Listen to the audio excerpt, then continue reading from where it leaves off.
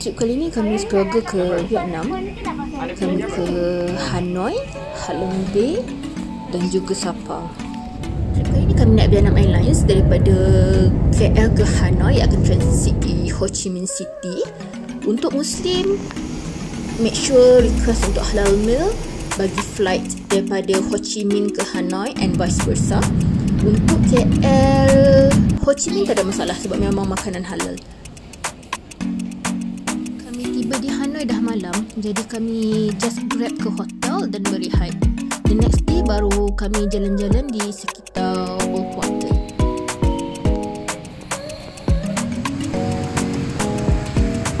Menariknya Old Quarter ni setiap street tu mereka jual benda-benda yang berbeza. Contoh street 1 akan jual macam ni panglong street 2 akan jual toys. So it's very interesting. Kita ni sangat sibuk dan banyak sangat motosikal jadi kalau nak melintas kena hati-hati.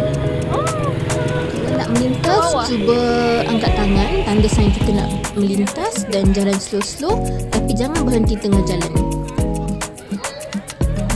memandangkan bas kami ke Sapa adalah pukul 10 malam. So we have like the whole day untuk jalan-jalan sekitar Hanoi ni. Cuaca di Hanoi ni memang just nice untuk berjalan kaki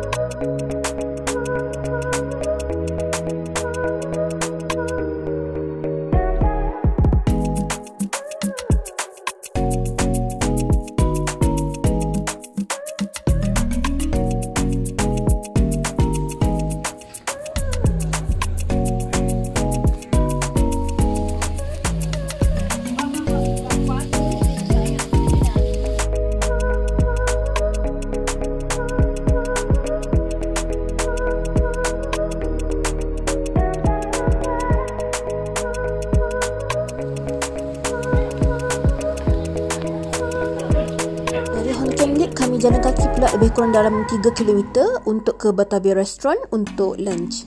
Lepas makan kami berjalan kaki pula ke Hanoi Botanic Garden yang terletak lebih kurang 5 minit berjalan kaki daripada Batavia tadi.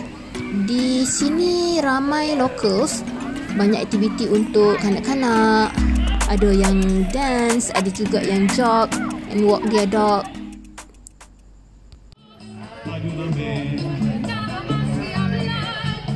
Selesai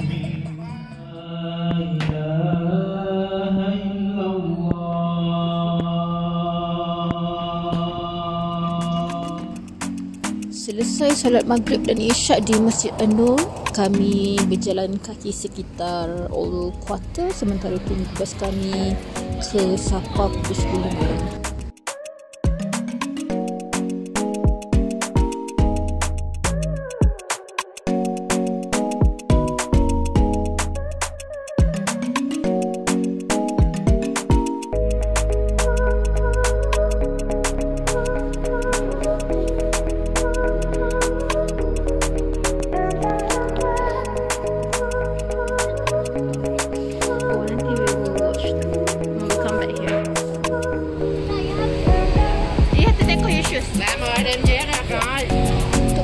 kami pilih untuk naik VIP cabin sleeper bus daripada Sahabat Travels. Perjalanan akan ambil masa lebih kurang 6 jam. Ya, belakang. Okay, middle. Ya. Abang mana? Abang sini. Ya.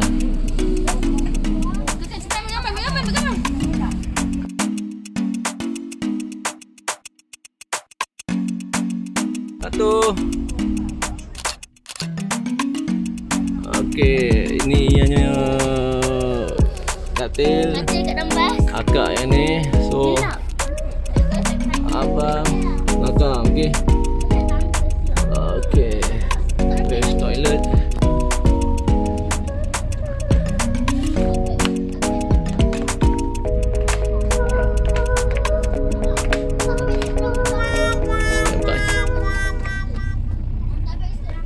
Cabin dia memang selesa. Seat boleh betul-betul flat untuk kita tidur ataupun boleh tegakkan untuk kita duduk. Dan setiap cabin tu ada USB port untuk kita charge telefon. Mineral water dan blanket pun ada.